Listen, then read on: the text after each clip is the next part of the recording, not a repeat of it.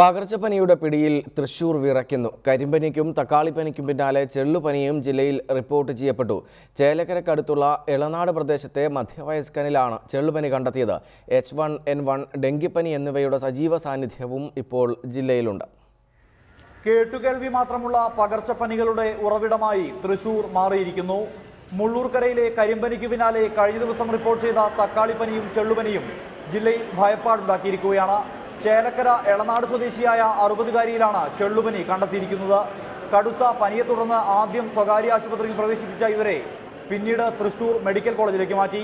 തുടർന്ന് രക്തപരിശോധനയിലാണ് രോഗം സ്ഥിരീകരിച്ചത്.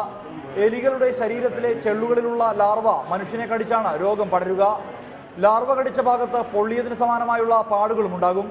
കടുത്ത ശരീരവേദന തളർച്ച വിറയൽ എന്നിവയാണ് ചെള്ളുപനിയുടെ ലക്ഷണങ്ങൾ. പുല്ലുവെട്ട് തൊഴിലാളിയായ ഇവർക്ക് പണിയിടത്തിൽ നിന്നും രോഗം പകർന്നതാകാമെന്നാണ് ആരോഗ്യവകുപ്പ് അധികൃതരുടെ നിഗമനം.